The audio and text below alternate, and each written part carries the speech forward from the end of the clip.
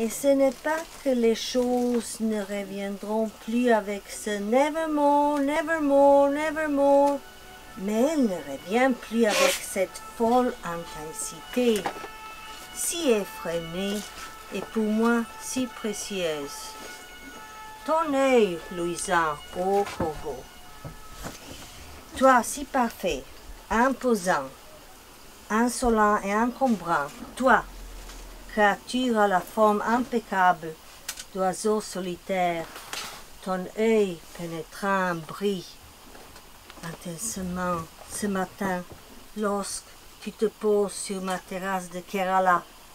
Oui, c'est à toi, pendant que tu gobes des fruits dans ma main, que je peux chuchoter Nevermore, nevermore, nevermore.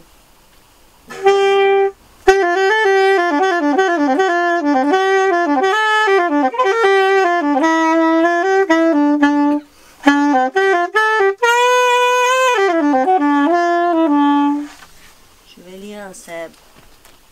Gabran. I nije da se stvari više ne vraćaju sa onom starom nikad više, nego se ne vraćaju sa onom ludom, neobuzdanom, a meni tako dragom jačinom.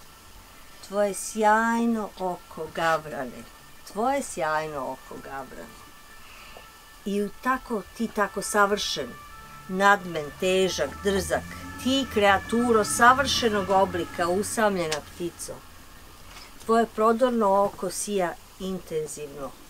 Baš ovog jutra, dok slećeš na terasu u Kerali, da, baš tebi šapućem uvo.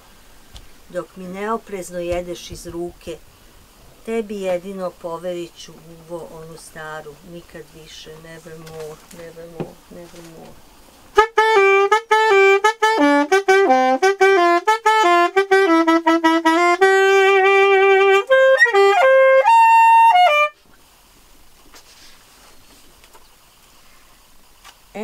Sandre. C'est à moi encore? Mais oui. Le jaune et le blanc. Ah, le jaune et le blanc. Oh, ça c'est... Bah oui. C'est un, c'est un poème écrit pour Pierre Merechkowski ici. Déjà, il a, j'ai écrit tellement beaucoup, beaucoup de poèmes pour lui. C'est, c'est abominable. Hein? Combien de poèmes j'ai écrit pour toi? Une centaine, ah ben, à peu près. hein. Cent- là, ça, là, une centaine. là. oh, évidemment. Là, c'est un vrai... Une centaine. C'est une vraie histoire. Le jaune et le blanc, organiquement inséparables, toujours collés l'un contre l'autre, dans un agrégat liquide ou dur jusqu'au moment où les gens agitent le sucre, où la main de la cuisinière avisée verse l'un ou l'autre dans le bol, les sépare cruellement et les bat jusqu'à la mousse et ce qui reste, elle le jette dans une poudre, disons la farine.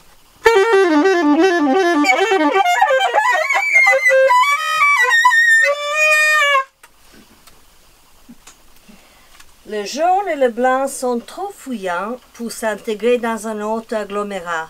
Indépendants, ils ne se coagulent pas bien avec les autres substances. Quand le jaune reste isolé dans l'air et seul, il commence à puer. Et son bien-aimé le blanc, il tournoie dans le liquide brillant et dégoûtant, et ensuite il s'évapore nulle part.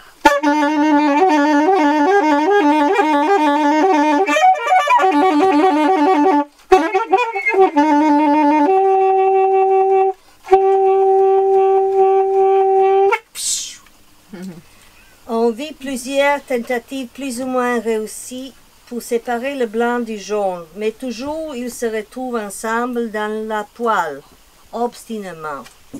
Dans la même omelette, battus, frappés et rendus fragiles durant des années.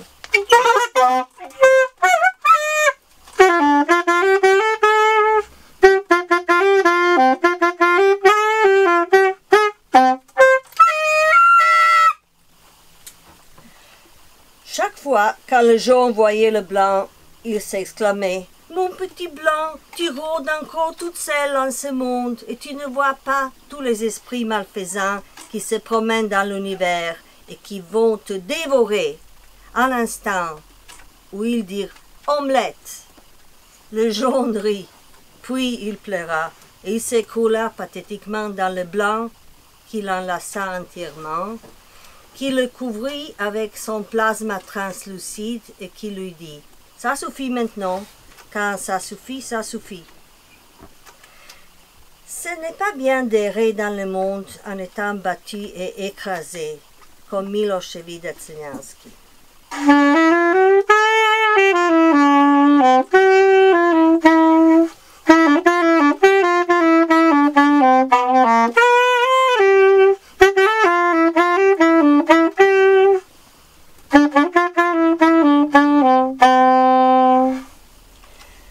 Le jaune et le blanc décident d'embellir et de faire grossir leur destin.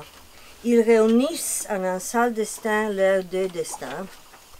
Ils se chauffent et gonflent dans l'unique destin d'un soufflet qui atterrit dans une casserole.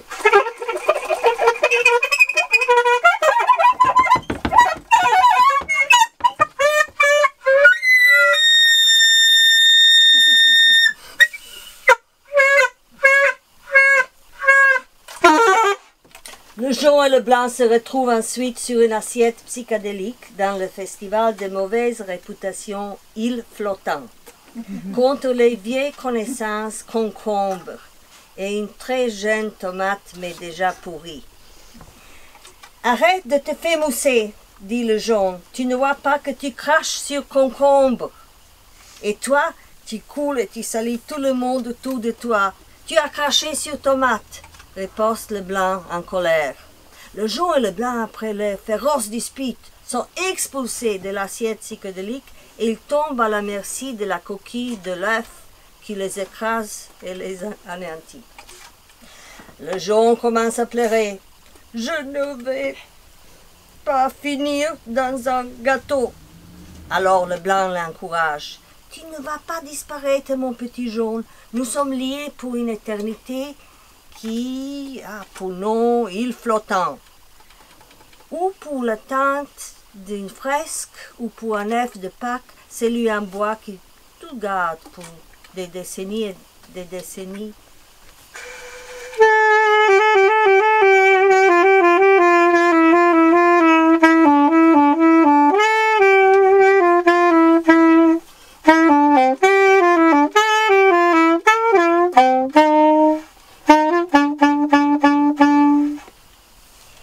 Dernières nouvelles dans les journaux locaux assurent que le jaune et le blanc ont cessé d'être des stars médiatiques.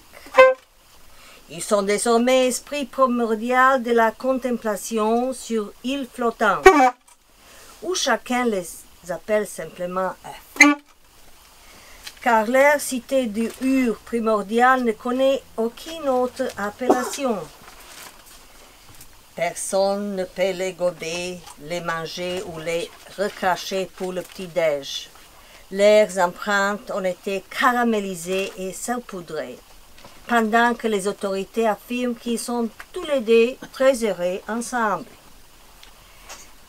Ce que chacun peut constater de le premier regard. La peau du blanc est pure et lisse et translucide comme le cristal et il sourit au jaune et à sa primordiale et invisible substance philosophique qui brille et qui sent très bon. Pour le plaisir du patron du restaurant La Comète Lila et de ses clients.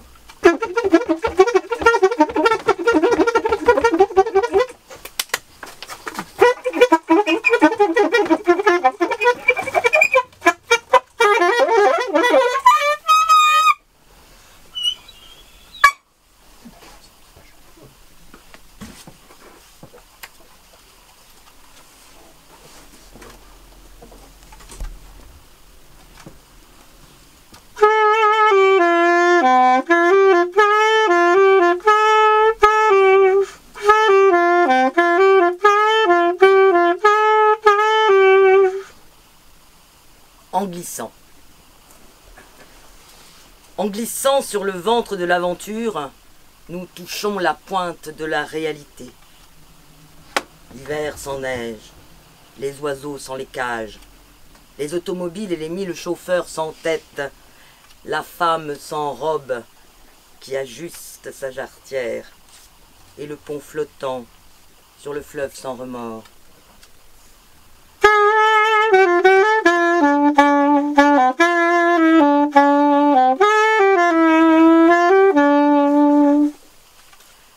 Vêtue de ma vieille histoire, assise dans la chambre sourde, à la porte grande ouverte, il me paraît brusquement évident que j'ai appris dans un certain parc la langue des vipères et des écureuils, et à l'instant où je les nourris, je m'imagine comprendre la façon de les rendre heureux.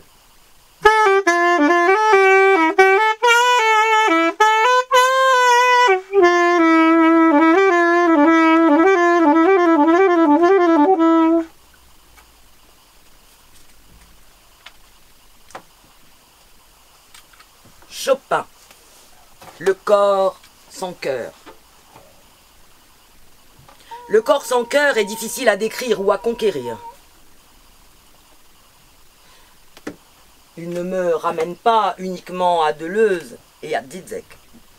Il me conduit plutôt vers le corps de Chopin enterré au Père-Lachaise, là où sa sœur a arraché son cœur pour le déposer dans la cathédrale baroque de la Sainte-Croix de Varsovie. D'autres organes vitaux ont été enterrés de cette façon.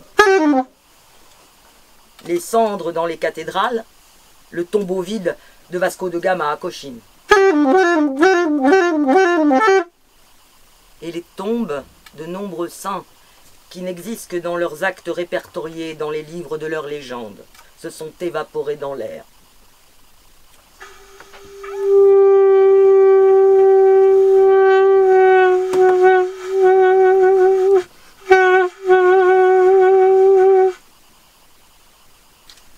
Les gens veulent-ils enterrer les corps? Que font-ils de l'esprit? Comment enterrer